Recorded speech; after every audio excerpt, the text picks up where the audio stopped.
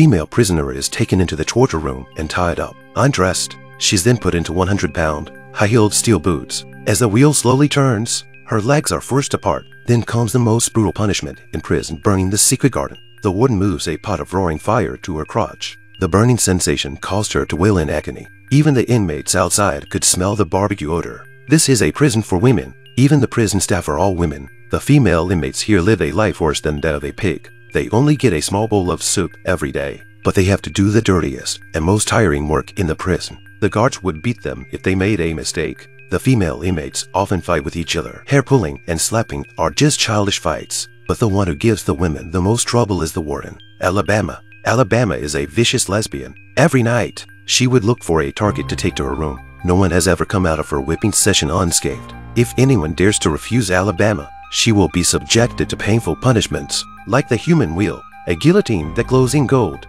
a water cell full of fat locusts, a 220-volt transformer. The whole package of luxury torture will make you lose your soul if you don't die. Since the prison was built, no prisoner has ever been released from here. If someone can't take it anymore and wants to escape, it's a fool's errand. The outside of the prison is far more terrifying than the inside. The residents around the prison are all bounty hunters, specializing in catching escaped female inmates. If they catch them, dozens of men will take turns to hurt them. Eventually, the hunters will return the dying women to the prison and receive a handsome bounty. On this day, Jeff was also sent to this woman's prison. She had a handsome and rich boyfriend, but it turned out to be a smuggler. When he realized that something was wrong, he didn't hesitate to plant evidence on Jeff. So Jeff was caught by the police. Afterwards, she met her boyfriend and cried her eyes out. He explained that he was being framed and promised to get her out. The naive Jeff believed him and took all the blame in court. She was sentenced to 10 years in prison. At this point, she was convinced she'd be out of prison soon, but all that awaited her was a dark cell and endless torture. On her first day in prison, the warden gave Jeff a hard time. Then Jeff was taken to a cell. Her cellmates appeared friendly, but they all had ulterior motives. One day, a man approached Stoke and asked her to kill Jeff and promised to take three months off her sentence if she did. Turns out Jeff's boyfriend knew that the women's prison was too high security to get Jeff out. In order to protect himself, he spent a lot of money to find someone to eliminate Jeff. And that's when Jeff received Stoke's spiked sandwich. Just as she was about to eat it, the prison lights went out and the room went dark. Jeff had to save the sandwich for breakfast. However, she woke up the next day to see the sandwich in the corner had been eaten by a rat. And strangely enough, the rat was dead. Stoke kicked the dead rat and the sandwich down the drain. She was afraid her poisoning would be discovered. Jeff was lucky to escape with his life. Later that night, Cindy was summoned to the bedroom by the warden. She looked as ecstatic as a queen favored by a king. After a night of fun, Sandy returned to her cell with a sense of relief. Rudy couldn't help but say, I see you've been doing a lot of games. Her words were filled with jealousy. Sandy was so enraged that she grabbed her hidden knife and started to fight. But before the fight could start, the sound of their quarrel attracted the warden. Sandy preemptively accused Rudy of verbally abusing the warden. They already had an affair, so of course the warden believed Cindy's words. She took Rudy straight to the torture chamber. Rudy was so scared by the fire tools and the sharp guillotine that she turned around and ran away. But she was slapped unconscious by the warden. The woman is being tortured by fire in the prison. Rudy came out of the torture chamber unconscious and unable to stand. But the warden didn't want to stop there and sent Rudy to work in the fields. Rudy collapsed on the ground in the heat of the sun and the discomfort. Jeff tried to help her up, but the warden stopped her. Rudy had no choice but to lie on the ground and let the heat wave hit her. It wasn't until lunchtime that Jeff dared to give Rudy a few sips of water. As she watched Rudy's agony, she couldn't help but think about running away. But the crowd said the warden was powerful. The prison is surrounded by her hired hunters. Even if she escaped, she'd be brought back. And no one had ever escaped. Jeff was disappointed to hear the news. It seems she can only wait for her boyfriend to rescue her. But instead of rescue, there's a lot of danger. Stoke, who failed to poison her, didn't give up.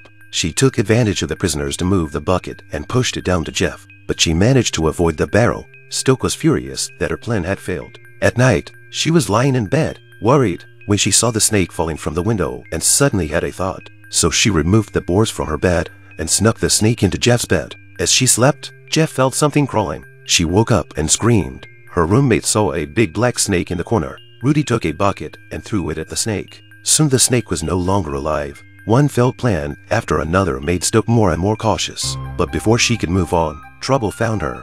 That day, Alabama called her over and asked her to stay the night and serve her well. But Stoke, being a straight woman, slapped the warden. Alabama was instantly enraged and put her on a spinning wheel. Stokes' eyes were burning from the shaking, but she still refused to admit she was wrong. Just as Alabama was about to continue her punishment, the guards rushed to say that there was a disturbance in the prison. It turns out that the female inmates couldn't stand chopping sugar cane every day, so they beat up the guard and they fled outside the prison. Alabama immediately instructed the guards to control the rest of the inmates. She then reported to her superiors and used bounty hunters from outside the prison to arrest them. The other female inmates were hopeful when they heard about the escape. It just so happens that Sandy has lived in these woods since she was a child. If she can escape, she can lead the group through the forest. With the example of the two women inmates, escaping didn't seem so scary.